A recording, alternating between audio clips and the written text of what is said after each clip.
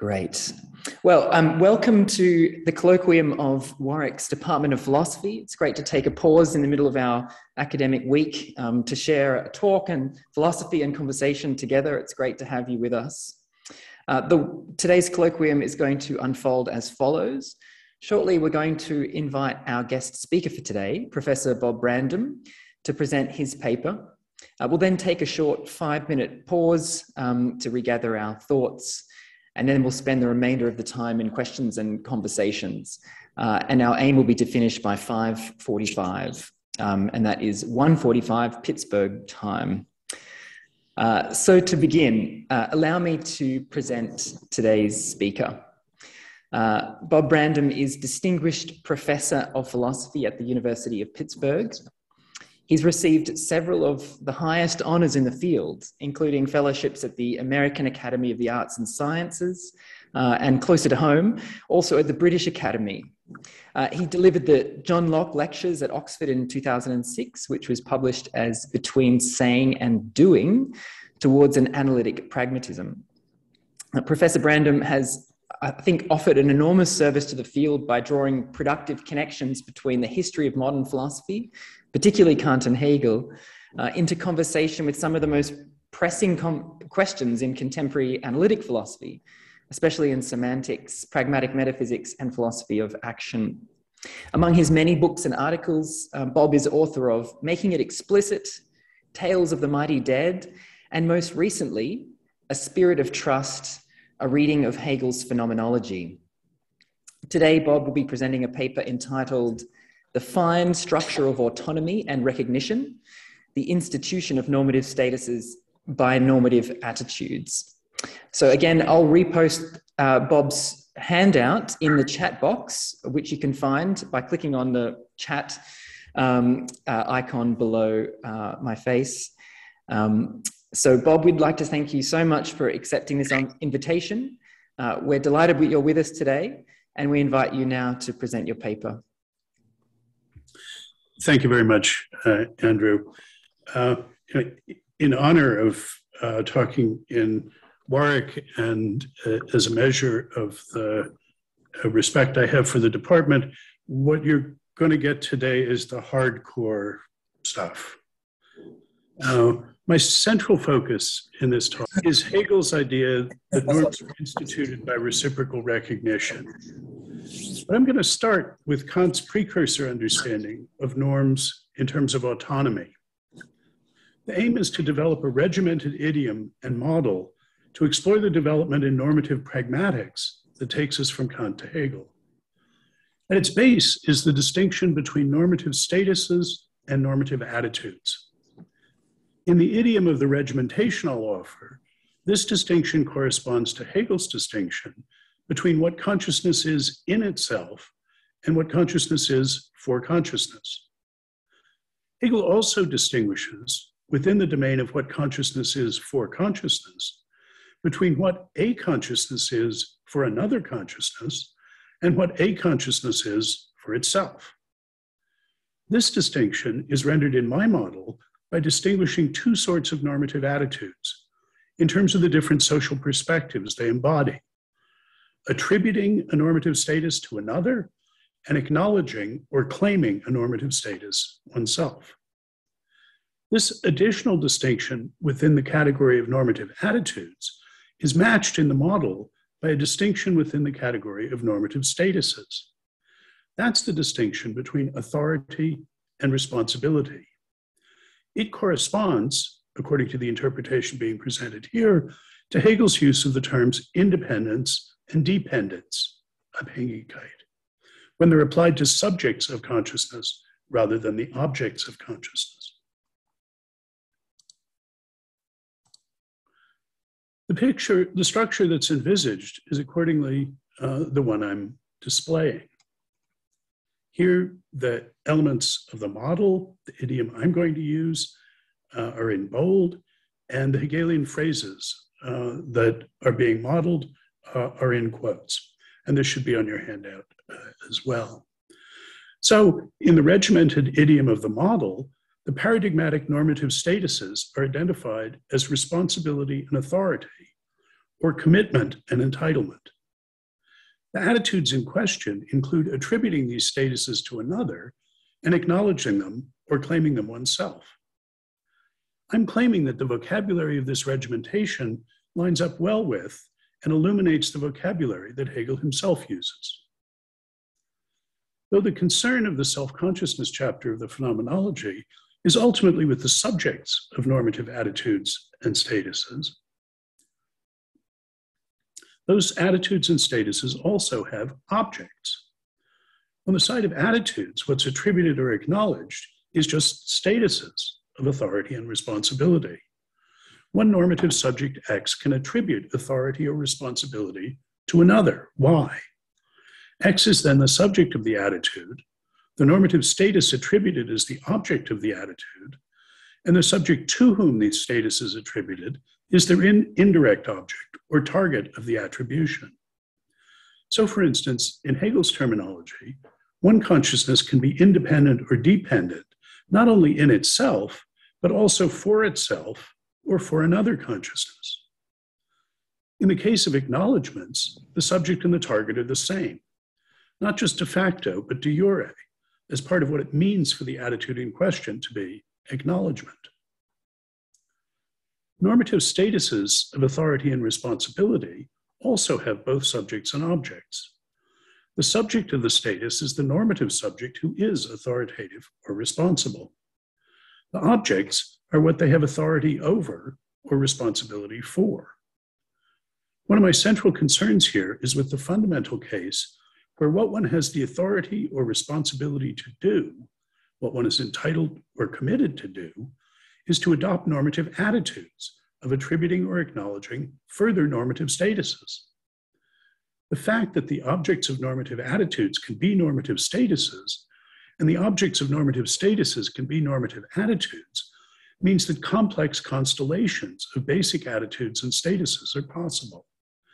And it's in these terms that I'll suggest we can understand both the Kantian individualistic autonomy model of the institution of normative statuses by normative attitudes and the Hegelian social recognition model of the institution of normative statuses by normative attitudes, and the way in which the latter develops, elaborate, and elaborates the former that is, the sort of Aufhebung that it is. If we start with the two basic normative statuses, normative independence and dependence, understood as authority and responsibility, and the two basic normative attitudes, attributing responsibility or authority to another, and acknowledging or claiming responsibility or authority for oneself, and think about them in the context of what is for Hegel the essentially modern idea that normative statuses are not just dependent on normative attitudes, but are in some sense instituted by them, then an important compound of statuses and attitudes becomes visible. Kant's construal of normativity in terms of autonomy is at base the idea that rational beings can make themselves responsible, can institute a normative status, by taking themselves to be responsible, that is, by adopting an attitude. His idea, developing one of Rousseau's, is that so long as the attribution of responsibility is self consciously self directed, that is, so long as it takes the form of acknowledgement of oneself as responsible, it's constitutive in the sense that adopting that attitude is sufficient all by itself to institute the status. For Kant turned Rousseau's definition of freedom as constraint by a law one has laid down for oneself into a way to distinguish genuinely normative constraints merely causal or matter of factual ones. What is it for an attitude of claiming or acknowledging responsibility to be constitutive of the status of responsibility it claims or acknowledges? For it immediately, that is, all by itself, apart from any other attitudes, to institute that status. As the object of an attitude, as what is acknowledged or attributed, a normative status such as responsibility or authority has a kind of virtual existence. There need not, in general, be an actual status corresponding to the attitude. One subject might wrongly attribute a responsibility to another, or claim an authority she herself does not, in fact, possess. Kant's concept of normative subjects as autonomous, as I'm reading it, is a conception of them as able to bind themselves normatively by their attitudes, to make themselves responsible, acquire an actual normative status by taking themselves to be responsible, that is, by adopting a normative attitude. In the favored cases, adopting the attitude actualizes the virtual status that's the object of the attitude. The resulting status is not just attitude dependent, in the sense that no attitude implies no status, but is immediately instituted by the attitudes. Having the attitude implies having the status. That is what it is to understand the attitude as constitutive. Further, being able to adopt such immediately constitutive self attributions is itself a normative status. For Kant thinks that rational knowers and agents have the authority to adopt immediately constitutive self attributions or acknowledgments. To be a discursive being is, for Kant, to have the authority to commit oneself, epistemically in judgment and practically in intention, what he calls adopting a practical maxim. That special kind of normative authority is what autonomy consists in. Both of these, the theoretical and the practical, are undertakings or acknowledgings of responsibility, committing oneself to how things are or how they shall be. This authority to make oneself responsible just by taking oneself to be responsible, autonomy, might be called the basic Kantian normative status BKNS for short. Being a normative subject for Kant is being an autonomous agent and knower, one who's the subject of normative statuses such as responsibility and authority. And furthermore, one is in the end, in the primary sense, committed to or responsible for only what one explicitly acknowledges as one's commitments and entitlements, uh, one's commitments and responsibilities and in a secondary sense for commitments that turn out to be implicit in those acknowledgments as consequences or presuppositions of them. It's that authority to make oneself responsible that, according to Kant, other rational beings are obliged to recognize as the fundamental dignity of rational knowers and agents. The basic Kantian normative status, autonomy, is accordingly a complex attitude involving status. For it is the authority, a complex status, to adopt a certain kind of attitude, an immediately status instituting attitude, what I'm calling an immediately constitutive attitude. This sort of attitude is an attributing of a status, in the case of the BKNS, exclusively to oneself, such that adoption of that attitude is sufficient all by itself for the status actually or genuinely to be exhibited by the one to whom it's attributed. In Hegel's terminology, it's a way consciousness can be for a consciousness that's sufficient to determine that that is the way the consciousness is in itself. For one's consciousness to be that way, for one's own consciousness, is to be that way in itself.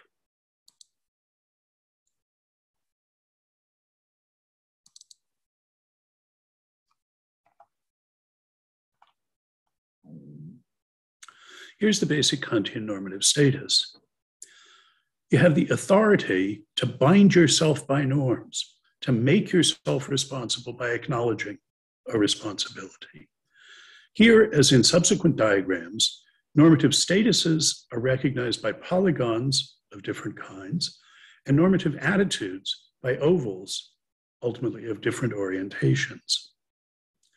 The bulk of the self consciousness chapter of the phenomenology consists of an investigation of the conception of this kind of immediately status constituting attitude. For the idea of individual attitudes of attributing statuses that suffice all by themselves, just in virtue of being the kind of attitude they are, to institute the statuses they attribute, is the idea Hegel allegorizes under the heading of mastery or pure independence. What that is purified of is all hint of dependence. That is, the idea of mastery is the idea of authority without correlative responsibility. And that's the, that notion of pure independence, authority without responsibility, is the topic of all the allegories of kinds of self consciousness that are recounted in the self consciousness chapter. The concept of immediately status constitutive attitudes is an extreme version of what Hegel thinks of as the basic idea of modernity. On this rendering of the transition from traditional to modern, traditional forms of life revolved around an appreciation of the status dependence of normative attitudes, what we can now recharacterize as the authority of norms over attitudes, of how what obligations and authorities there are determine what responsibilities and authority normative subjects should acknowledge and attribute. By contrast, modern forms of life are characterized by an appreciation of the attitude dependence of normative statuses. What we can now recharacterize as the authority of attitudes over norms. The way in which what obligations and authorities there are and what they are answers to the attributions and acknowledgments of normative subjects. The idea that some attitudes can immediately institute the normative statuses that are their objects, that in their case, taking someone to be authoritative or responsible can by itself make them have that authority or responsibility, is, on Hegel's view, a characteristic deformation of the modern insight into the attitude dependence of normative statuses. It's the idea allegorized as mastery. Hegel sees modernity as shot through with this conception of the relations between normative attitudes and normative statuses. And it's precisely this aspect of modernity that he thinks eventually needs to be overcome. In the end, he thinks even Kant's symmetric, reflexive, self directed version of the idea, in the form of the autonomy model of normativity, is a form of mastery. In Hegel's rationally reconstructed recollection of the tradition, which identifies and highlights an expressively progressive trajectory through it, Kant's is the final, most enlightened modern form, the one that shows the way forward. But it is nonetheless a form of the structural misunderstanding of normativity in terms of mastery, an ideal of pure independence, which modernity fails to overcome. To claim that normative attitudes institute normative statuses goes beyond the mere claim of attitude dependence of normative statuses. But the claim that at least some normative attitudes are immediately constitutive of normative statuses goes beyond even this second claim. Such a way of taking someone to be committed must be sufficient for making one be committed. Self consciousness that understands itself in terms of the categories of mastery construes normativity generally in terms of immediately status constitutive attitudes. Hegel clearly thinks that such a conception takes the insight of modernity concerning the attitude dependence of normative statuses too far. The form of his objection to all forms of self conception that have the characteristic shape of mastery is the same. We can think of Hegel's diagnosis of the metaphysical error that manifests itself as forms of self consciousness understanding itself in the way characteristic of mastery as having three levels, proceeding from the more to the less abstract. First, it's characteristic of self consciousness with the structure of mastery to understand itself as being in itself pure independence. That is, it conceives itself as exercising authority unmixed and unmediated by any correlative responsibility, which is normative dependence. This, Hegel claims, is an ultimately incoherent conception. It's something the master can be at most for himself, not in himself. And as so conceived, the master would be unable to, in the end, to commit himself. For a determinately contentful commitment involves being responsible to the content to which one has committed oneself, in the sense that one makes oneself liable to assessment of one's success in fulfilling that commitment. a judgment's being true or an intention successful, according to the normative standard that's set by the content of one's status. In the end, the master cannot acknowledge even that moment of dependence as responsibility.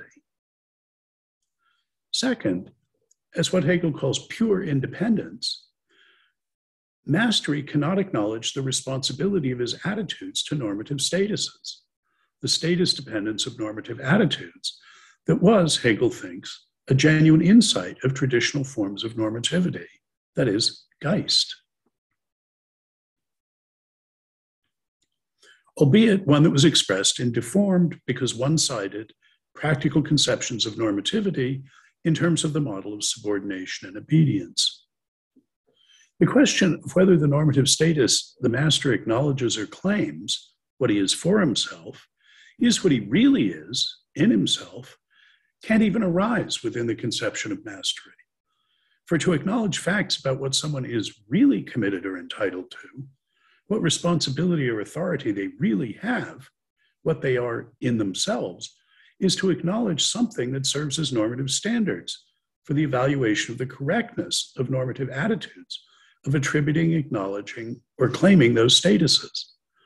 By contrast, the master must understand his attitudes and their authority as answering to, responsible to, dependent on nothing. Finally, the master has a conception of normative force, in Frege's sense of the pragmatic significance of status and attitudes. What one is doing in becoming authoritative or responsible, and in attributing and exercising authority or attributing and acknowledging responsibility, the master has a conception that leaves no room for the contrast and division of labor between such force and the determinate conceptual content of either normative statuses or attitudes. This, I will claim, is the form of complaint that binds together the treatment of all the forms of self consciousness conceiving itself according to categories of mastery. There's no intelligible semantics, account of content, that's compatible with that pragmatics, that account of normative force, status, and attitude to which the masters are committed. The key to this line of thought is that Hegel understands the relation between Fregean force and content, between statuses and attitudes on the one hand and content on the other, in normative terms of authority and responsibility, that is, independence and dependence.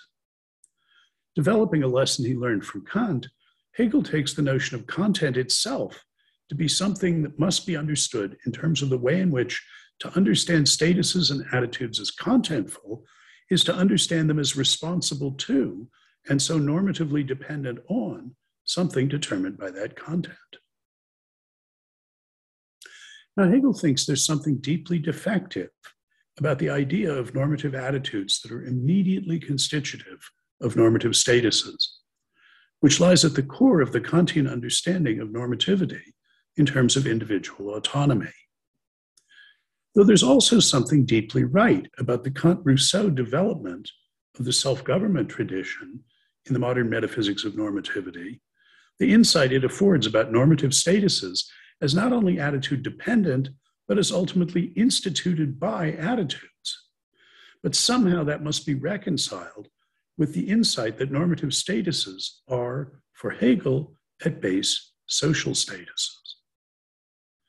Hegel's recognition model of the institution of normative statuses by normative attitudes articulates the idea that other regarding attitudes of attributing responsibility and authority, holding other normative subjects responsible, taking them to be authoritative, are equally essential to them really being responsible or authoritative, having the statuses of being committed or entitled, as are the self regarding attitudes of acknowledging those statuses on which Kant's notion of autonomy focuses.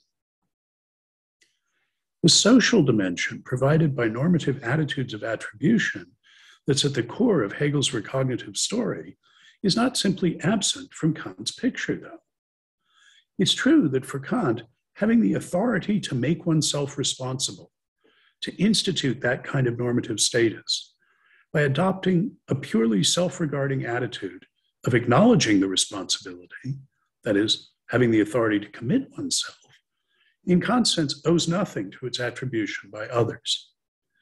That authority, that autonomy, that status that's constitutive of being a discursive being, a subject of normative attitudes and statuses, that basic constitutive normative status is not itself for Kant instituted by normative attitudes. In this respect, Kant acknowledges not only the attitude dependence of ground level responsibilities, but also the dependence of the status instituting capacity of those attitudes on the normative status that is the authority to institute responsibilities by acknowledging them, the authority to commit oneself that is autonomy.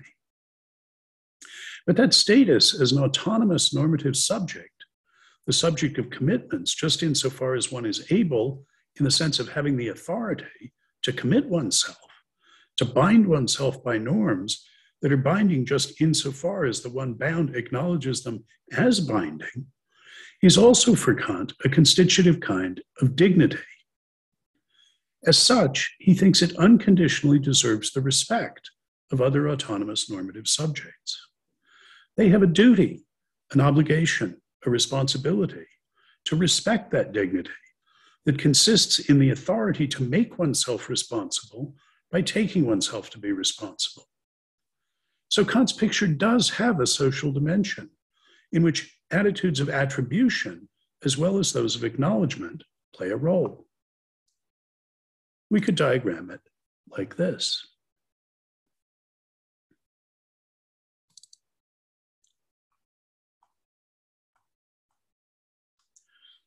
This is a complex interpersonal constellation of basic normative attitudes and statuses, in which relations of statuses as objects of attitudes and attitudes as objects of statuses are piled one on one another five levels deep. Starting at the top of the diagram, as rational beings, we have a standing formal obligation or responsibility, a status, I'm going to call that level five, to respect in the sense of attributing.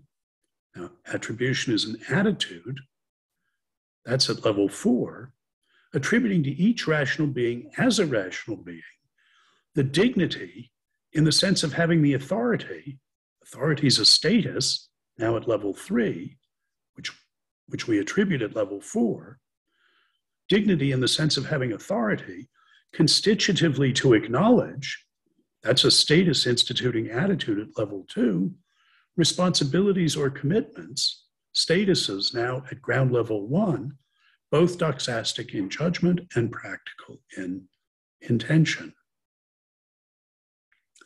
Now, all of these elements Hegel can and does applaud. And they are the basis for him to say that Kant was almost right he had all the crucial conceptual elements, just not arranged properly. So Kant has the idea that it's a necessary condition of being responsible that one acknowledges that responsibility. That's autonomy.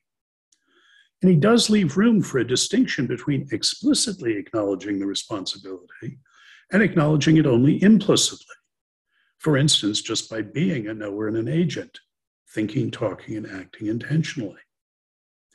But one might think, I think Hegel does think, that this is not yet a full blooded sense of being responsible. It might well be laid alongside of another important but not yet full blooded sense of being responsible that consists simply in being held responsible, a matter of attributing without acknowledging. Hegel claims the genuine responsibility requires both of those attitudes in fact, arranged as reciprocal recognition, dual attitudes of acknowledging and attributing of the status. His view is what one gets by accepting the Kantian picture, but treating both attitudes, the attribution of authority in respecting it, as well as the dignity of its exercise in acknowledging responsibility, as necessary and jointly sufficient for the institution of normative statuses. Looking at the diagram of the complex constellation of basic attitudes and statuses that make up the basic Kantian normative status of autonomy, makes it clear that although the determinate responsibilities at the bottom of the diagram, cognitive commitments to claims and practical commitments to doings, but both of them are both those kinds of responsibility are instituted by immediately constitutive attitudes. The authority to do that, the authority to bind oneself, which is autonomy, is not conceived as itself instituted by attitudes. And looking at the diagram of the social extension of the basic Kantian normative status, likewise makes clear that the duty to respect the autonomy of others is also a status that for Kant is not itself instituted by attitudes.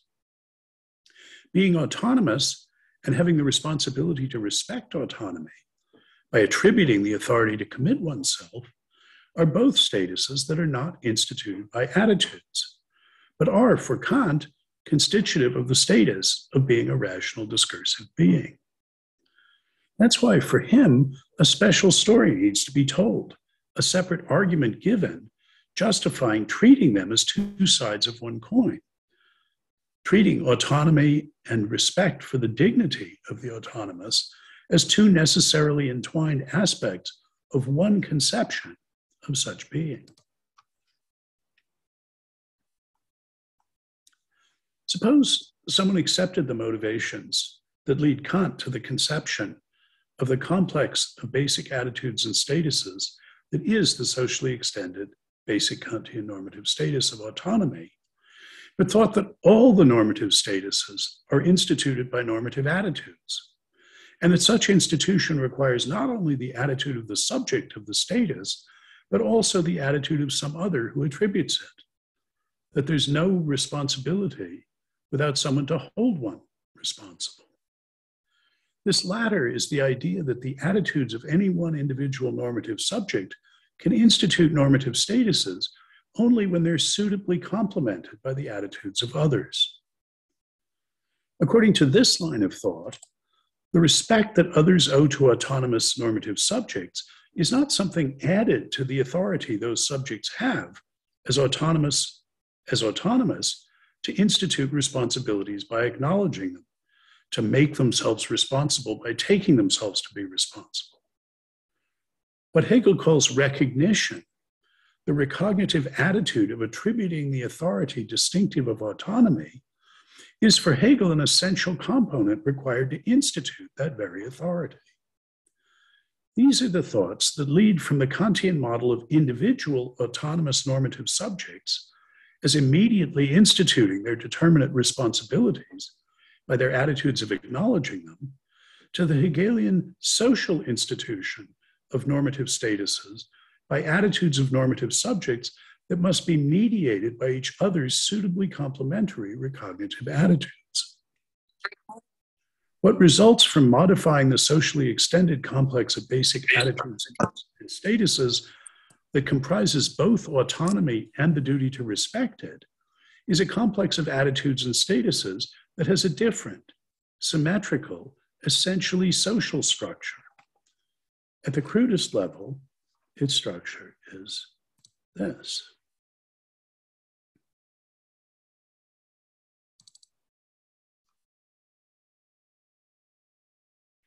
This is a very basic constellation of normative attitudes and statuses. And I understand Hegel is taking this to be the underlying metaphysical structure of genuine normativity. All that's shown in this diagram is the complex constellation of attitudes and statuses exhibited by the two normative subjects that corresponds to the top two thirds of the diagram of the basic Kantian normative statuses. It doesn't represent the specific responsibilities and other statuses that each is recognized as having the authority to acknowledge. What is represented is a structure of general recognition, not special recognition. It represents recognition in the sense of recognizing as, taking to be, a general recognizer. That is, a normative subject of statuses and attitudes. This is attributing the authority to adopt attitudes that are constitutive of statuses, not immediately, but in the mediated sense that they institute statuses if they're suitably socially complemented. In order to institute the authority to institute statuses by one's attitudes, here attributions, one must oneself be taken to have, to be recognized as having that authority by another, whom one in turn recognizes as having the very same authority. The idea is that recognitive attitudes can institute recognitive authority just in case those attitudes are suitably socially complemented in the sense of being reciprocated. Recognitive authority, the authority that corresponds to autonomy in the basic Kantian normative sta- status, the authority to institute statuses by one's attitudes, is itself instituted by suitably complemented recognitive attitudes, by reciprocal recognition. It's only when those attitudes are suitably complemented that they genuinely have the authority to institute normative statuses. That is, Hegelian recognition is what Kantian respect for the authority to institute statuses by one's attitudes becomes when that attribution of authority by another is understood as essential to the institution of the very authority to institute statuses by one's attitudes. Put somewhat paradoxically, for Hegel, autonomy is an essentially social normative achievement. As autonomous, Kantian normative subjects can, in a certain sense, lift themselves up by their own bootstraps. For they can actualize normative statuses that are merely virtual, that is, that otherwise exist only as the objects of their normative attitudes. But the authority to do that, that authority in which their autonomy consists, is not itself the product of their own attitudes, nor of the attitudes of other normative subjects who are obliged to respect their autonomy by attributing that authority. Their possession of that authority is for Kant just a fact about them, as is everyone else's responsibility to respect it. By contrast, the recognitive authority of Hegelian normative subjects is instituted entirely by recognitive attitudes that correspond to Kantian respect for one's own autonomy and the autonomy of others. The recognitive status that is virtual as the mere object of recognitive attitudes, attributions of authority, is actualized according to the recognitive model when and only when the recognizing subject is recognized as a recognizing subject by another recognizing subject whom the first subject recognizes in turn. They do not and cannot individually lift themselves up into the normative status of genuinely having recognitive authority by the bootstraps of their own recognitive attitudes, that is, attributions of authority. But the recognitive unit they form when their recognition is mutual does lift the attitudes of both. It does promote their statuses, their recognitive authority, that are merely virtual as the objects of their attitudes, up to the level of actual, genuine normative statuses the recognitive statuses are not immediately instituted by recognitive attitudes, but they are actually instituted by suitably socially complemented reciprocal recognitive attitudes.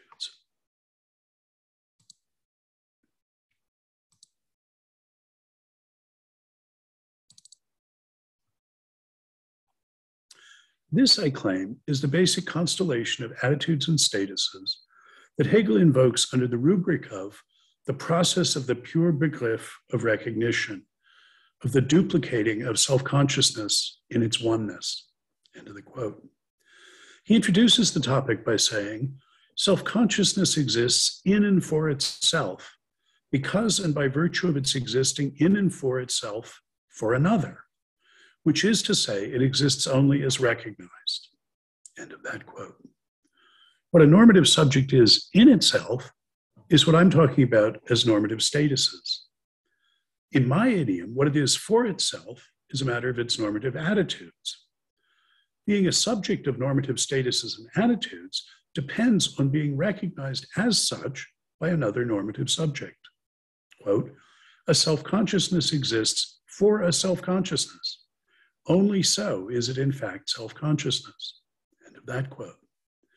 This is the step that sees recognition, the successor attitude to Kantian respect, as an essential constitutive element of the status of normative self conscious selfhood that is the successor status to Kantian autonomy. Furthermore, instituting a self in the sense of something with the status of a normative subject of normative statuses and attitudes requires recognitive attitudes that are symmetric, reciprocal, or mutual. Hegel says, each is for the other the middle term, through which each mediates itself with itself and unites with itself. And each is for itself and for the other an immediate being on its own account, which at the same time is such only through this mediation. They recognize themselves as mutually recognizing one another. End of the quote. Here we see the move from the Kantian immediate institution of statuses by individual attitudes to the Hegelian recognitive institution of, of statuses by attitudes that are socially mediated by the attitudes of others. Quote, Thus, the movement is simply the double movement of the two self consciousnesses. Each sees the other do the same as it does. Each does itself what it demands of the other, and therefore also does what it does only insofar as the other does the same. Action by one side only would be useless because what is to happen can only be brought about by both. End of that quote. It's this symmetric recognitive constellation of basic normative attitudes and statuses that he refers to in the very next sentence as the pure begriff of recognition of the duplicating of self consciousness in its oneness.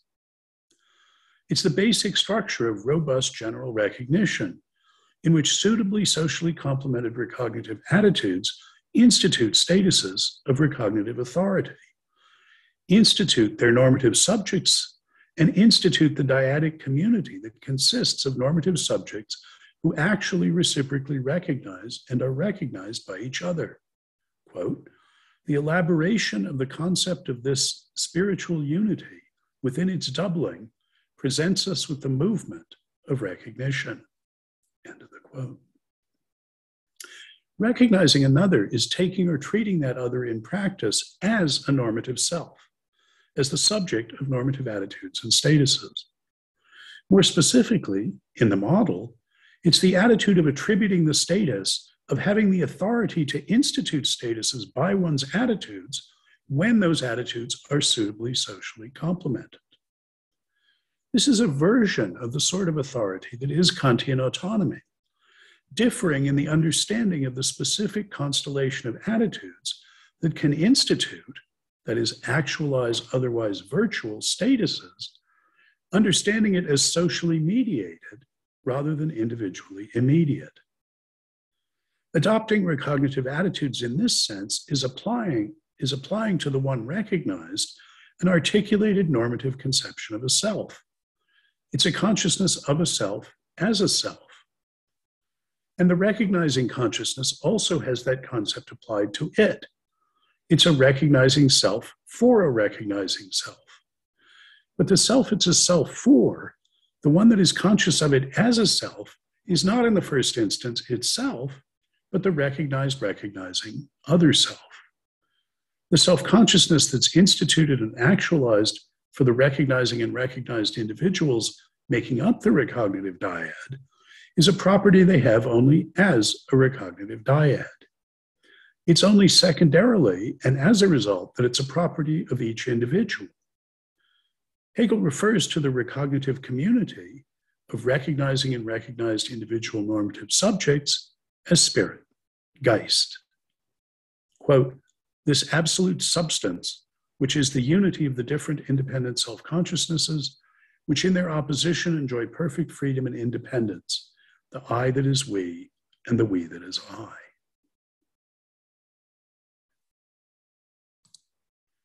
In the model I'm recommending, independence is authority, the authority of the several recognitive subjects. It's not immediate authority, pure independence, but authority that's socially mediated by the attitudes of others, who attribute it in recognizing the independent normative subject as authoritative. Freedom is Hegel's term for the symmetric recognitive constellation that integrates immediacy as the actuality of attitudes with their social mediation through the requirement of suitable social complementation of attitudes for their institutional authority, that is, their authority to institute genuine normative statuses. The last diagram I showed represents only the most general outlines of the complex constellation of basic normative attitudes and statuses that is the model of Hegelian recognition that I'm proposing as a successor to the model of Kantian autonomy. For it characterizes only the structure of robust general recognition, the recognitive attitudes that institute the recognitive status of having, which requires being recognized as having recognitive authority. What's left out of that diagram are the specific non recognitive statuses of responsibility and authority, paradigmatically for claimings or judgings and for intentional doings, that Kant took autonomous normative subjects to have the authority to institute by their attitudes of acknowledgement. Focusing on conditions on possession of specific normative statuses we can start with the one Kantian autonomy emphasizes responsibility. Hegel doesn't want to relinquish Kant's insight that one is, in the first instance, responsible only for what one acknowledges responsibility for. He wants to supplement it with the thought that it's nugatory to acknowledge a commitment unless one has licensed someone to hold you responsible. Ultimately, this will be a matter of the conditions of determinate contentfulness of, of commitment. Unless administered, the commitment is not determinately contentful. The recognition model requires suitable social complementation of attitudes for the statuses that are the objects of those attitudes to be actualized and instituted. It follows that, as with the Kantian autonomy structure, attributing responsibility has to be complemented by the acknowledgement of the subject of the responsibility. One only is responsible, a status, for what one acknowledges responsibility for, an attitude. The status of responsibility, which is virtual in the sense of just being the object of these paired attitudes of attribution and acknowledgement, only becomes actualized, a status outside the attitudes it's an object of, when the status attributed is also acknowledged. That's just the other side of the coin of the requirement that for acknowledging a commitment or responsibility to succeed in instituting that status, for it to be constitutive of the commitment it acknowledges, for it to be successful, a successful undertaking of that commitment, a status, someone else must both be authorized to hold the subject responsible, to attribute the commitment, an attitude, and must actually do so. Kant does not require this social complementation of attitudes, but thinks that autonomous individual subjects just come with the authority to actualize the statuses that are the objects of their attitudes immediately, in the sense of not depending on any other actual attitudes. And according to the social recognitive model, the same paired conditions requiring social complementation of normative attitudes to institute normative statuses holds for attributions and acknowledgments of authority. One only has authority, including the authority to institute statuses by one's attitudes, if others take one to have that authority by attributing it. Absent others treating one as authoritative, one's own claim to authority is incomplete. The authority in question remains merely virtual as the object of the subject's claiming attitude.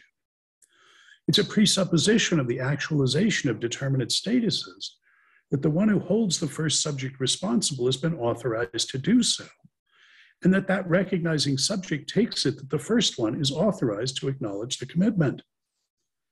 Acknowledging a status such as responsibility is suitably complemented only if some recognized recognizer also attributes it, holds one responsible.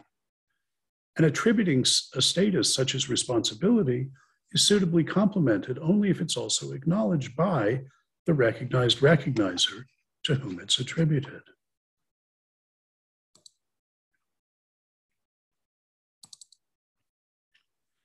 Now, I put this diagram up there mostly just to horrify you. Uh, I mean, in fact, I'm committed to the correctness of extending the model of Hegel's thought to this further level of fine structure. But I'm not going to go into it here. Uh, I'm mostly fessing up to the hermeneutic equivalent of what my teacher David Lewis meant when he characterized one of his own metaphysical views as mad dog modal realism. This is some kind of mad dog hermeneutic modeling of uh, Hegel's thought.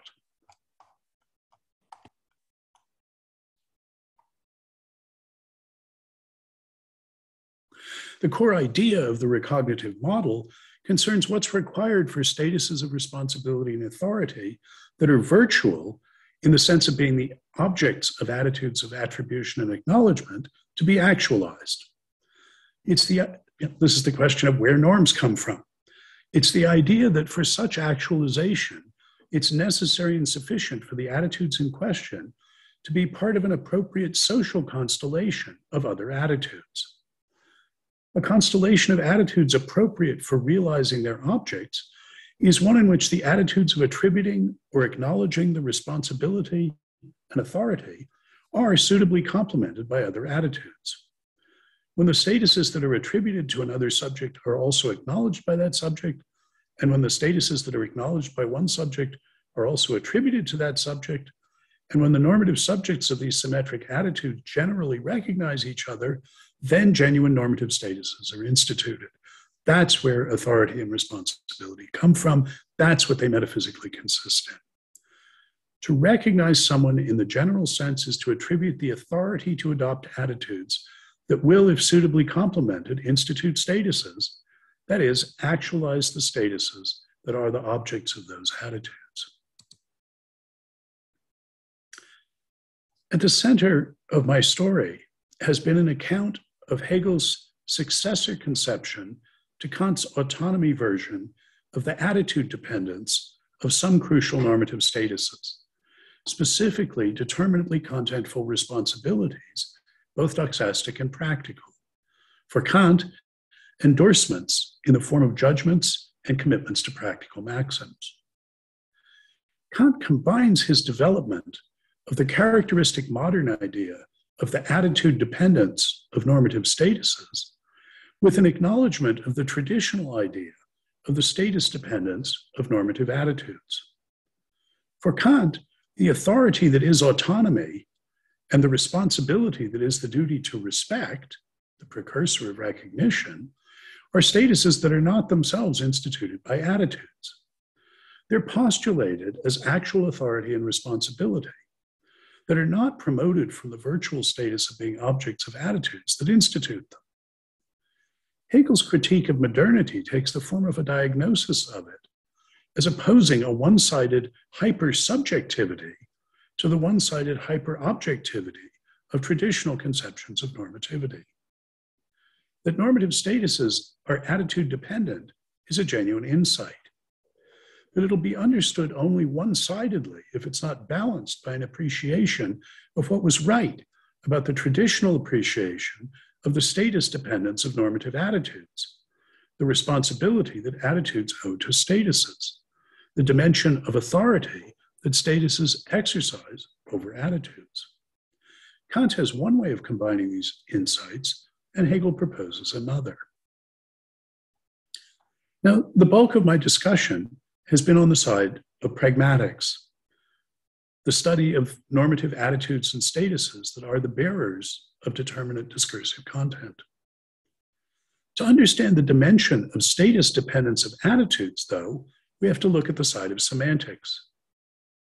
For the distinction for Hegel between phenomena and noumena, between appearance and reality, between what things are for consciousness and what they are in themselves, shows up both in the form of the pragmatic distinction between attitudes and statuses, and in the form of the semantic distinction between senses and reference, as I would render that Fregean distinction in Hegel's terms. In pragmatic terms, it takes the form of the distinction between what consciousness is for a consciousness, itself or another, and what a consciousness is in itself. This is the distinction between what a normative subject is really committed or entitled to, its actual responsibilities and authority, and what responsibilities or authority other subjects attribute to it or it acknowledges or claims itself. That's just the distinction between statuses and attitudes. Semantically, though, appearances, what things are for consciousness, are the Hegelian analog of Fregean senses. What those senses refer to or represent, how things are in themselves, is the reality that is the Hegelian analog of Fregean reference. Hegel accepts Kant's insight that what a representing, here a sense, an appearance, what things are for consciousness, that what a representing represents is to be understood in normative terms as what exercises a distinctive kind of authority over the correctness of the representing. That's what the representing is responsible to for its correctness, what provides the normative standard for assessments of its correctness. This is the semantic correlate of the status dependence of normative attitudes. The sense in which what, the conscious, what consciousness is for consciousness, a subject's normative attitudes, is responsible to, dependent on, what consciousness is in itself, what it's really committed to or authoritative about, which accordingly exercises an authority over those attitudes. The relation between phenomena as representings, Hegelian senses, and noumena as representeds, Hegelian reference, is established, Hegel tells us, by the process of recollection, Erinnerung. That's a retrospective, rational reconstruction of an expressively progressive process of experience as explicitation, the gradual emergence for consciousness of how things are in themselves. There's a deep connection between this account of the process by which content is determined, viewed prospectively, becoming more determinate, viewed retrospectively, as explicitly revealing new aspects of the always already determinate content that has been all along implicit, and the relation between normative attitudes and normative statuses according to the recognitive model of the institution of statuses by attitudes. To begin with, the context of those content determining processes on the side of semantics is provided by the recognitive processes that institute normative statuses on the side of pragmatics.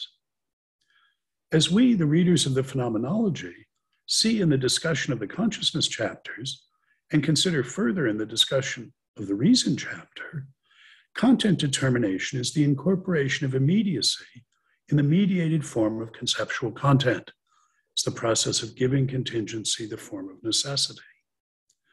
Specifically, that immediacy takes the form of normative attitudes that subjects actually adopt in the course of experience in response to collisions among attitudes they find themselves with, both through perception and through inference. Those collisions of attitudes, finding oneself with incompatible commitments, are the experience of error that he talks about in the introduction. Acknowledging some commitments normatively requires sacrificing others incompatible with them, that determinately negate them. That phase of the experience of error, in turn, requires retrospective revisions of one's understanding of the conceptual contents of one's commitments, of what is really incompatible with what, and what really follows from what. This final retrospective, rationally reconstructive phase of each cycle of the experience of error enforces to consciousness the distinction between noumena and phenomena, between how things really are and how things merely seem or appear. The form that distinction takes on the side of the subject is the distinction between normative statuses, what one has really committed oneself to in claiming, for instance, that the coin is copper, and the normative attitudes, for instance, what one takes oneself to be committed to in making such a claim. This pragmatic distinction reflects the distinction between the conceptual contents that are Hegelian reference and those that are Hegelian senses, the appearances of those reference, what they are for consciousness. Thought of from the point of view of the subject, the process of content determination by which noumena, reference, representeds, becomes something to consciousness distinct from the phenomena, the senses, the representings, that the experience of error unmasks as what things are for consciousness, is the emergence of the distinction between what is right with respect to the relations of material incompatibility and consequence, that is, determinate negation and mediation that articulate conceptual contents, and what merely seems right to the subject whose contentful commitments are at issue. And this is just another reflection of the distinction between normative statuses and attitudes. As Wittgenstein puts the point, one would like to say, whatever is going to seem right to me is right. And that only means that here we can't talk about right. Pragmatically, the question of how to understand noumena in terms of phenomena, which I've been addressing semantically, shows up precisely as the question of how it is that attitudes, how things seem to the subject, can institute genuine statuses which are binding on and beyond the attitudes of the subject. How can mere attitudes be transcended? Here we've seen that the key insight motivating the recognitive model is that we can make sense of the distinction between status and attitudes only if, in acknowledging a responsibility, committing oneself, one is at the same time authorizing others to hold one responsible by attributing that responsibility or commitment. They can then be understood as administering a content that one has committed oneself to, a content that is not determined just by the attitudes of the acknowledger, the one who has the commitment. To see acknowledging a responsibility and attributing authority to hold one responsible as two sides of one coin both articulates the distinction between mere attitudes and genuine statuses and brings into play the notion of determinate content as what one makes oneself responsible for. This is what the requirement that attitudes be suitably complemented in order to institute genuine statuses does. It makes available determinate contents and thereby articulates the dimension along which attitudes are dependent on statuses, this in the sense of being responsible to them for assessments of their correctness, senses as answering for their correctness to reference. The status dependence of attitude shows up in the recognitive model as a sense in which pragmatics, the theory of normative force, is constrained by semantics, the theory of conceptual content. Statuses are normative phenomena, what consciousness is in itself. And attitudes are normative phenomena, what consciousness is for itself or for others. The story about noumena and phenomena in terms of recollection is accordingly the form of the story about the status dependence of attitudes. Kant, having top level general statuses, had this aspect of status dependence of attitudes, as well as attitude dependence of statuses, since both autonomy and the duty of respect are statuses. But what autonomy is the authority to do is to institute statuses by attitudes, which is a form of the attitude dependence of the resulting specific statuses. So Kant divided the labor, status dependence of general attitudes, including the precursor of recognition, autonomy, and the attitude dependence of specific statuses. The statuses and their contents are determined in the end by what's represented. The attitudes can be thought of as senses, which inherit this crucial dimension of content from their reference. The content determines what one is really responsible for, the status to which the attitudes answer for their correctness, even though they instituted the status. That responsibility is administered by those one has made oneself responsible to in endorsing or acknowledging a responsibility. Those to whom one has thereby ceded the authority to determine what one is really responsible for. If there's no determinate, if there's no responsibility to others, then in exercising one's authority to commit oneself, one cannot succeed in making oneself responsible for any determinate content. That's the cost of not having responsibility to others, not acknowledging the authority of others, correlative with one's own authority to undertake responsibility. In claiming that the coin is copper, the commitment I undertake the responsibility I acknowledge is not determined just by my attitudes, I've made myself responsible to the actual content of the concept copper that I've applied. I've authorized others to hold me responsible, not just according to my conception of copper, what I take to follow from or be incompatible with such a commitment, a matter of my attitudes, but according to the real content of the counter I've played in the public language game. That's what determines what I've really committed myself to, the status I've actually acquired by my performance. The essentially social relations between normative attitudes and normative statuses, both the institution of statuses by attitudes and the dependence of attitudes on statuses, their responsibility to statuses for their correctness on the pragmatic side of force, and the essentially historical relations between what the contents are for consciousness phenomena, senses representing, and what they are in themselves, noumena, reference, the represented, on the semantic side of conceptual content, are two sides of one coin, recognitive and experiential aspects of one sort of developmental process. Here's a rough diagram of that uh, idea. And this is a picture of the bigger story, of which the one I've been telling is uh, an aspect. The retrospective, rational, reconstructive, historical phase of the process of experience, Hegel's Erinnerung, explains how, on the semantic side, objective conceptual contents, reference, noumena, what things are in themselves, articulated as laws, facts, and objects with properties, both are to be understood in terms of and serve as standards for assessment of the correctness of the process of manipulating subjective conceptual contents, senses, by applying rules, propositions, and singular terms and predicates in adopting doxastic attitudes. The social character of the recognitive process that institutes both normative subjects and their communities explains on the pragmatic side both how normative statuses, noumena, what self conscious subjects are in themselves, are instituted by, and in that sense, strongly dependent on, responsible to normative attitudes, that is, phenomena, what self conscious subjects are for themselves, and how those statuses have authority over those attitudes, serving as standards for assessment of their correctness.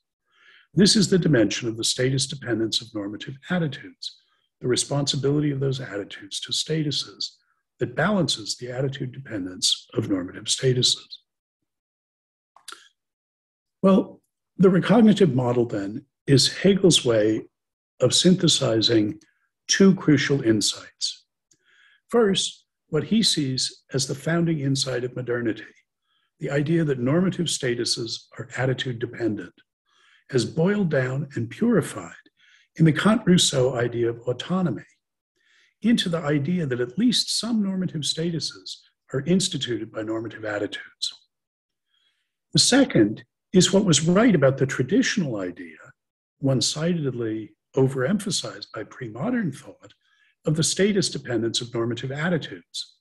The idea that our attributions and acknowledgments of responsibility and authority answer for their correctness to facts about what people really are committed and entitled to what authority and responsibility they really have.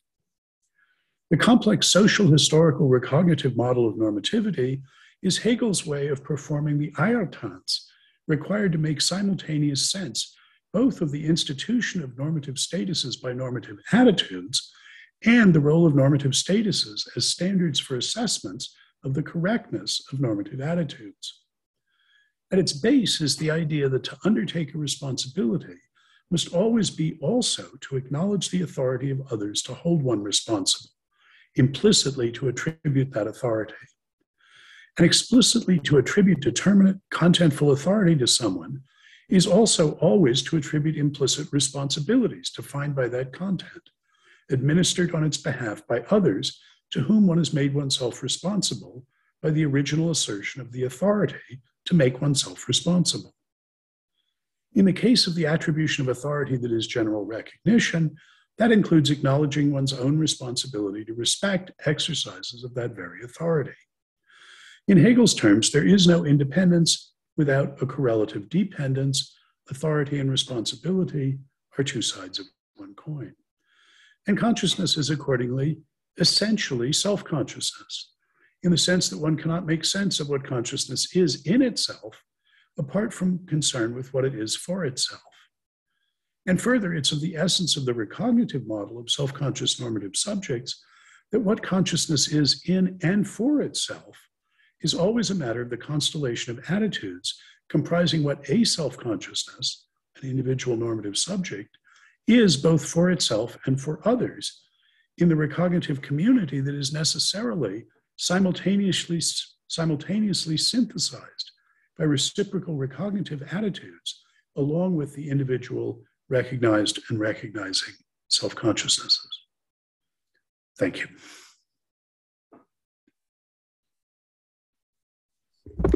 Thank you very much, Bob, for that um, very rich and multi-layered presentation of, of Hegel's argument. Um, I'm aware that time's running short, but I, I just want to give everyone two minutes um, to take a, a, quick breather, regather your thoughts, and we'll be back for questions um, at about 17 past the hour. And attributing, as you've set it out, are jointly sufficient for the institution of normative status.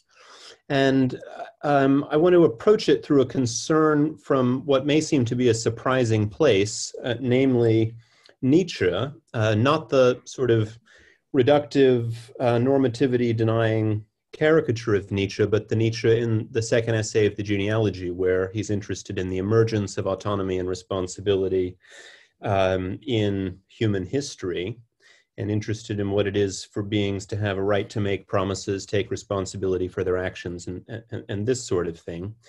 Um, now, he doesn't have any sort of reciprocal recognitive element, and I think that that weakens the account. But one thing that is there that I think is philosophically interesting and important is the idea that a kind of capability behind your commitments is very significant. So your commitments are idle unless you have the capacity to follow through on them or to you know to carry them out. And he contrasts the people who are uh, genuine bearers of responsibility with those who are feeble windbags who are not able to um, to uh, carry out uh, what they promise. So what I'm wondering is, do you think this capability component is important and do you think that it is captured in what you're describing as the status dependence of normative attitudes? Okay, good. Uh, no, I don't think it's captured here. Uh, uh, the analysis I'm uh, seeing following out from these this reading of Hegel's text is just on the normative side and is not looking to uh, practical abilities, uh, its ability only in the normative sense of having the authority to do it. Uh, now, uh, Hegel does think that the way determinate content gets into uh, our commitments is through the actual attitudes that uh, practitioners adopt.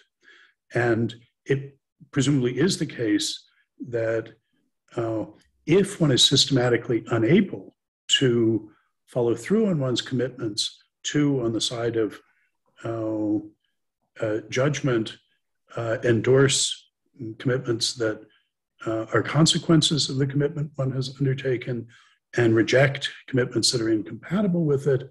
Uh, if one shows oneself systematically incapable of fulfilling one's commitments, that people will stop holding you responsible. Uh, as with the, the boy who cried uh, wolf. Uh, but I don't see Hegel, anyway, in the phenomenology as um, making anything of that uh, particular possibility. So I would see Nietzsche as adding uh, what, as you indicate, does seem to be an important uh, aspect to that story that I don't that I see Hegel as having room for, but not as uh, exploiting. Great, thank thank you. Uh, Philip, you're next. Thank you. Um, thank you very much, uh, Professor Brandom, for a very fascinating talk. So, I wondered. Um, so, you seem to rely a lot on the quote in 184, where Hegel speaks about uh, they recognize themselves as mutually recognizing each other. But then, in the very next um, paragraph, as you said, this is Hegel says this is the pure concept of recognition, but uh, we need to see how the development uh, continues as it appears for self-consciousness. And so by, by Hegel's own um, um, thought, there seems to be like something lacking in that pure concept of recognition that that needs to be supplemented by appearances, um, which I take to be, you know, the sensuous world, um, the world in which self-consciousness is initially immersed as desire. So I was wondering if you could say something more about how you read the element of appearance here and how that factors into your account of recognition. Thank you very much. Uh-huh. I mean, the way I'm reading this section uh, of the text, we're in the introduction to um, uh, the discussion in uh, self consciousness. Uh, and uh, this account of uh, genuine normative statuses as instituted by reciprocal recognition, that's the lesson we're eventually going to learn. That's the picture we're going to get of uh, undistorted uh, normative uh, structures. Uh, but for us to actually learn that lesson, the one that he's signposting, the one he's pointing forward uh, to, for us to learn that, we've got to start with the one sided uh, deformed conceptions that are the way the social character of normative statuses first appear to us, uh, namely uh, in the uh, normative communities with the structure, with the asymmetric recognitive structure, the deformed recognitive structure of uh, subordination and obedience that he's allegorizing with the master and the slave.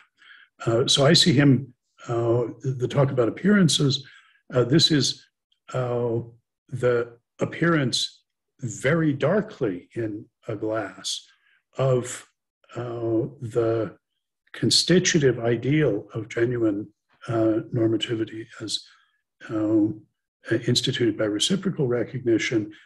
That's not how it shows up first.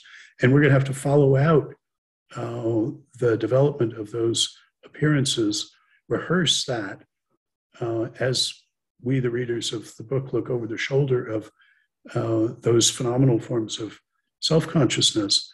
Uh, that's going to be the way we win our way through to an understanding of uh, this pure conception of uh, recognition that he claims is implicit all along, but um, it needs to be made explicit by a, a phenomenology, by our retrospectively, rationally reconstructing and rehearsing uh, the emergence into explicitness of this uh, uh, initially implicit conception.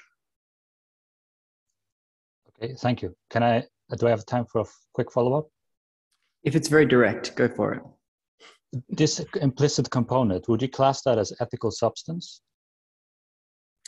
Uh, yes.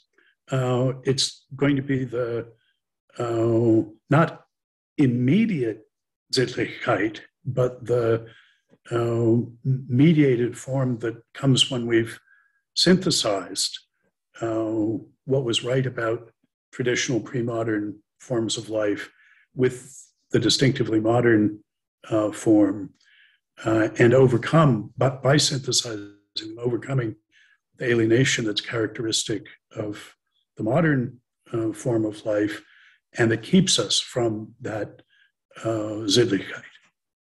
Okay, thank you very much. Thank you. That's very helpful. Tom, you're up next. Am I okay? Thanks very much, Andrew, for hosting it, and thanks so so much, Bob. I really enjoyed the paper, um, and absolutely tons to think about.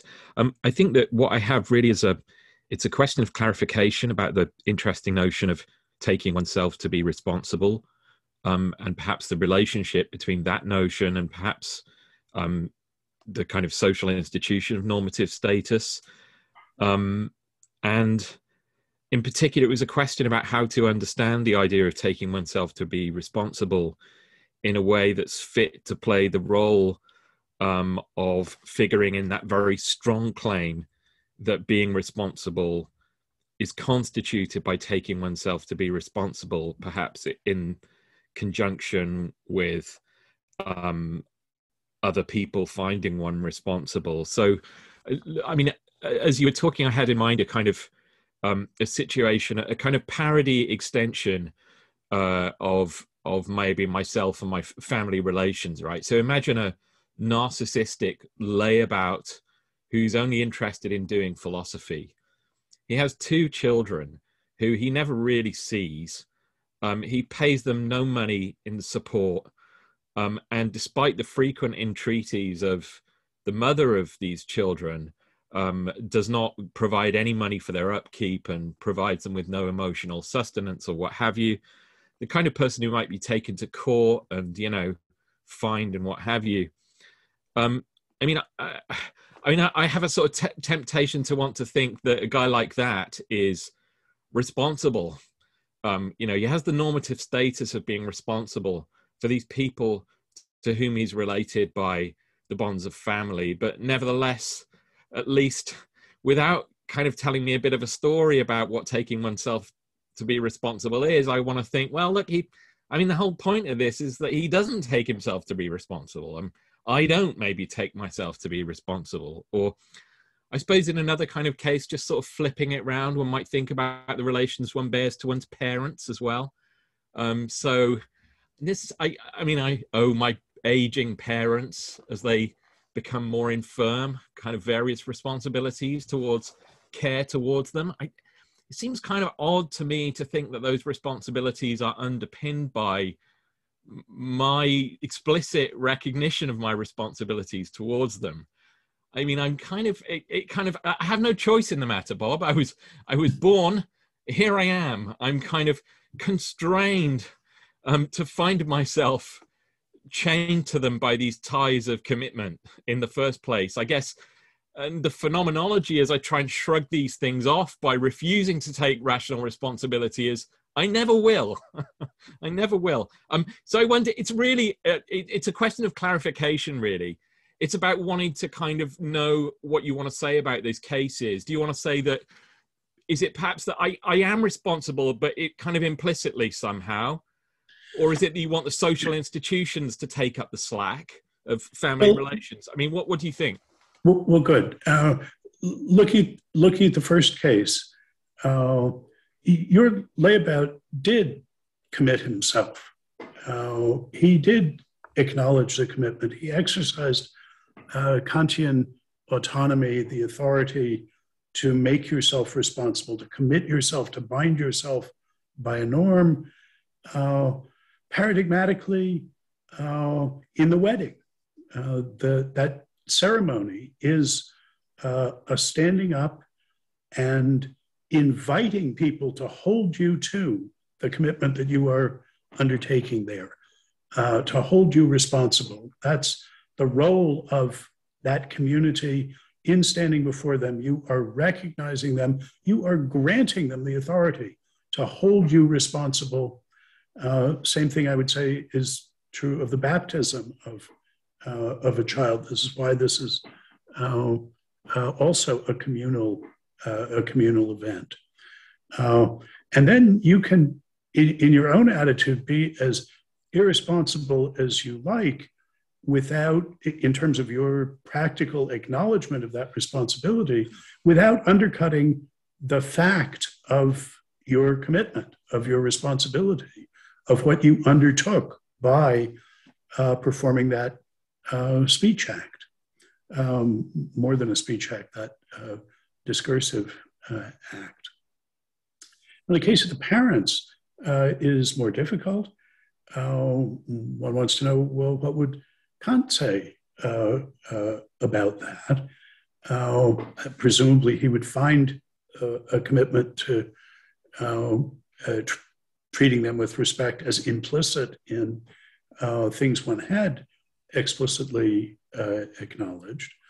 Uh, but Hegel has uh, uh, an interesting and, in the end, I think, deep story about the family as the initial natural recognitive unit with both of the Confucian dimensions, the, the filial and the uh, fraternal, as ones we find ourselves with as members of the family.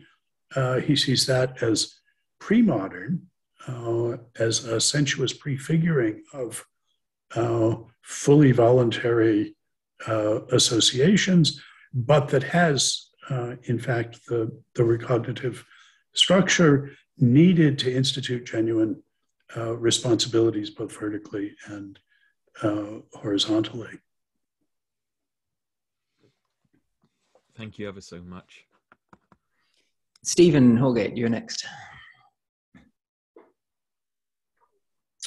Yes, thank you very much, Bob. Um, I first of all want to say that I thoroughly agree, obviously, as you'll expect, uh, uh, with you about the importance of mutual recognition for Hegel. And just let me add as well, I think the emphasis you place on trust, uh, it seems to me uh, exactly right.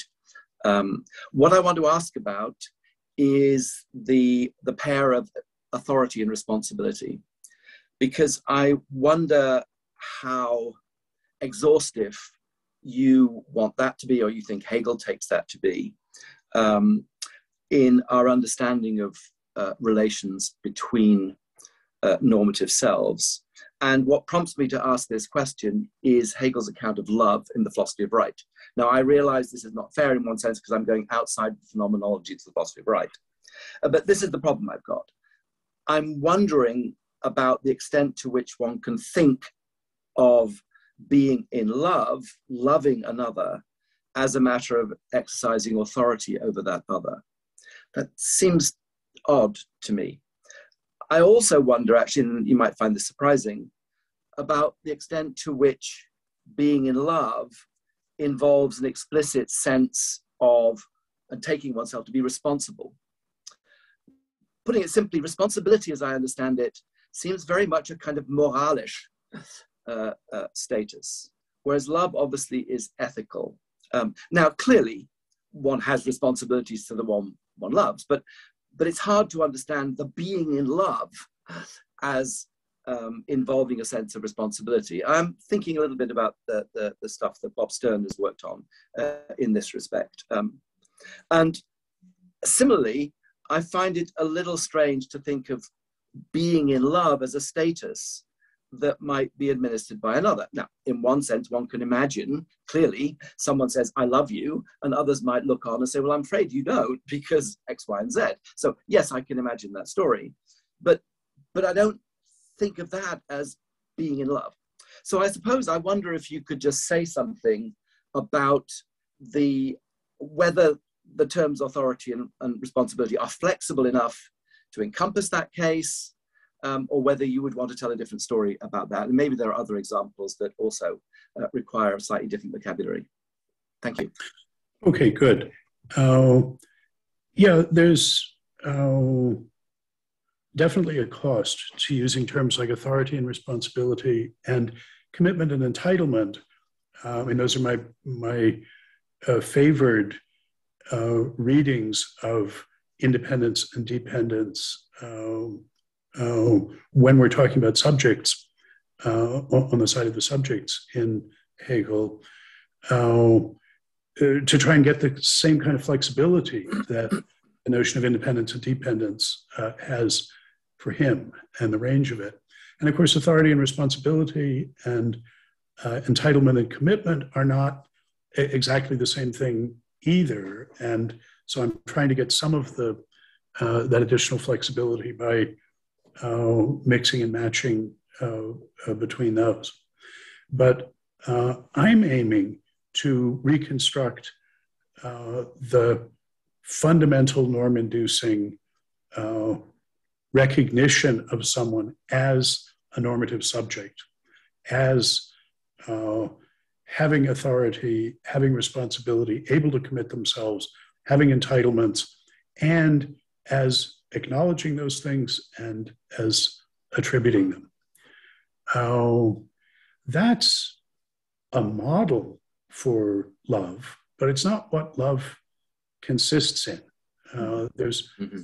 both more and less to uh, love than that. And I don't have a, a detailed story about um, love as the ultimately natural family based, uh, but uh, sensuous image and incarnation of uh, this basic uh, geistig uh, uh, relation. And I do think one would need to, to say um, uh, more about it. Mm-hmm. Um, uh, you know, the young Hegel in the in the Stift, uh, responding in the first excitement as uh, the three of them read "Religion Within the Bounds of Reason Alone." Uh, so, well, this moralist uh, take said Kant's entirely right, but Fantasie, Herz, and Sinnlichkeit must not be sent empty away. Mm-hmm. And I think throughout his uh, writing, throughout his work, uh, he aimed not to send them empty away. And in his account of love, in particular, those are important. Uh, and I don't have uh, mm-hmm. an account of those passages, just how this model uh, applies. But that love is uh, a sensuous representation and, and um, embodiment of uh, this basic normative structure. Uh, that I think uh, he's committed to. I'm committed to there being uh, a way of making uh, making sense of that. Mm-hmm. I guess just briefly in response, I, what I had in mind by love, in a sense, wasn't so much the natural dimension, but a particular form of ethical um, spiritual life that in a sense is is no longer specifically understandable in terms of a relation of independence and dependence. I, I guess that's what I had in mind. I'm, I'm thinking he says, you know, it, it's I know myself as the unity of myself with another and of the other with me. It's this it's this deep unity that seems to somehow not it's still ethical, I think, but but but to be more, as you say, more than the, the, the relationship between individuals. So anyway, well.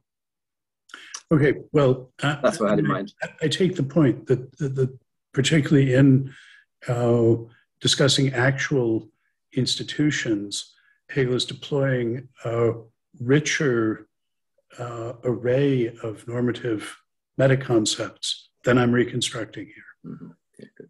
good. Thank you. Thank you very much. Andrew Chitty, Uh, thank you. Really interesting paper. Uh, I've got a question which um, is uh, perhaps a bit simplistic, but um, at least uh, your response, I hope, will clarify uh, what you're saying. As I see it, uh, what you're saying is that for Kant, basic normative status, the capacity to create specific normative statuses through one's normative attitudes, is simply given as a rational being but then it seems that someone with this status can give themselves any specific normative status. So that um, in that Wittgensteinian phrase, whatever seems right to us would be right. So there's no constraint on what kinds of specific normative statuses could uh, be created. So then in your view, Hegel's solution is that this basic normative status is not something just given to us, but is instituted through two subjects each attributing it to the other.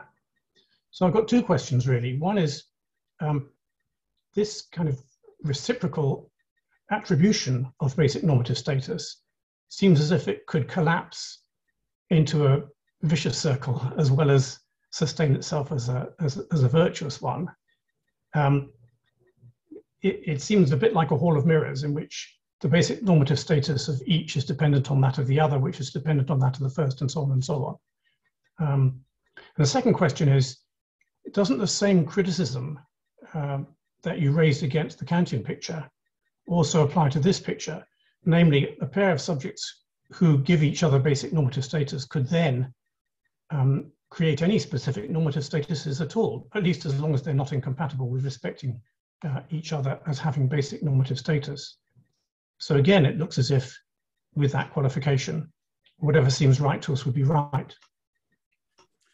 Okay, good. Uh, I mean, this is invoking pieces of the story that are uh, largely off stage from uh, uh the bit of it I told today, though, though this is precisely what I was uh, gesturing at in uh, the final bit of the presentation.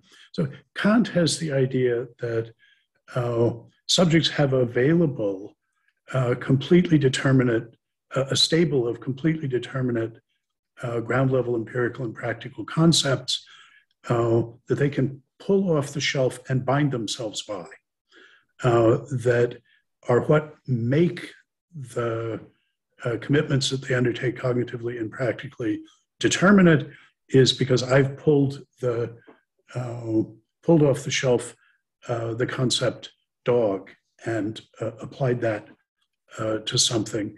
And now the content of that rule is what I've bound myself by.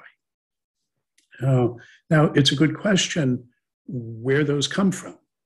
And I think Hegel thought that Kant was uncharacteristically but culpably uh, uncritical about the source of those determinate uh, concepts as rules one binds oneself by.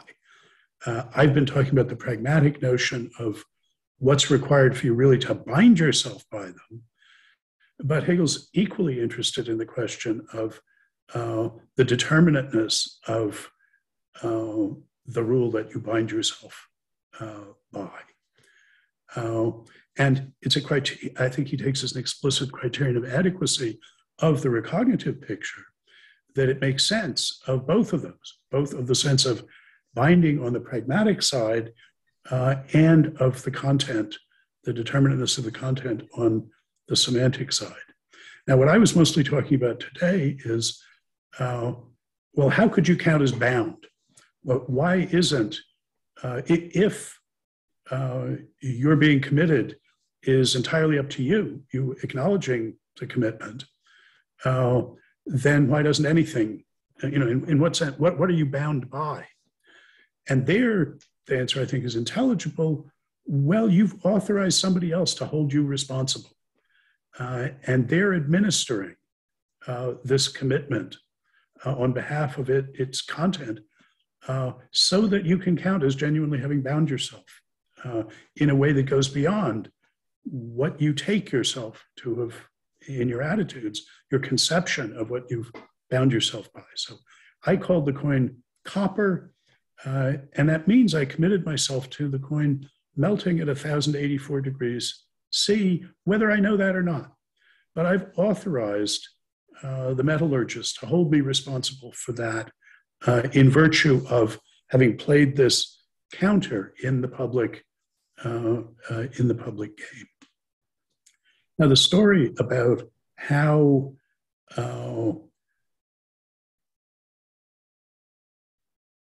determinate conceptual contents that bind all of us and transcend all of our attitudes can emerge from our actual applications of uh, concepts. That's the story that requires the historical dimension, uh, the recollective uh, dimension, uh, not just the social one uh, that I was talking about here. And all I did was wave my hands in that uh, uh, in the direction of that story. I wasn't really trying to, to tell it here, uh, but that's what I take to be sort of the chief glory of the phenomenology is that I think he has a, a worked out, workable answer to that uh, question.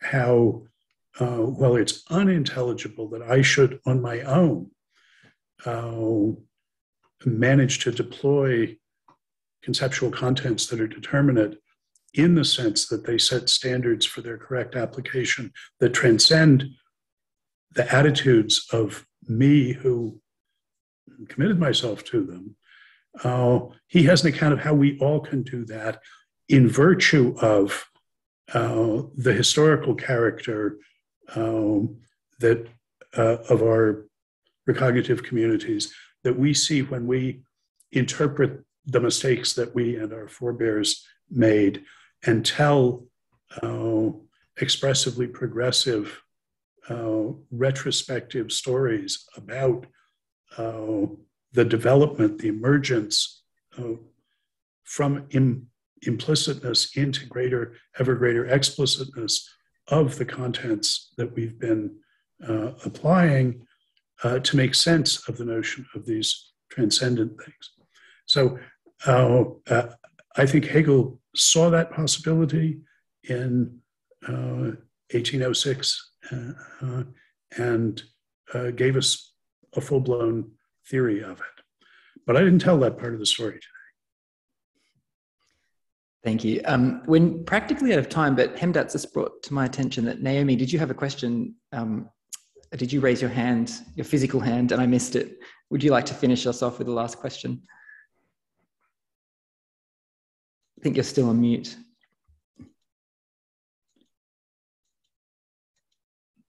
I think people have to go. I might write it to Bob if I may. Okay. Um, well, uh, it's been an immensely rich session. Um, Naomi might follow up a question with you, Bob. Um, but on behalf of the department at Warwick, um, I'd like to say thank you so much for joining us. Um, you've given us a lot to think about, um, and uh, we look forward to following your work and, um, and engaging with it more. So thank you for being here. Well, thank you very much. There is no audience I would rather present this material to. So I appreciate the invitation and thank you all.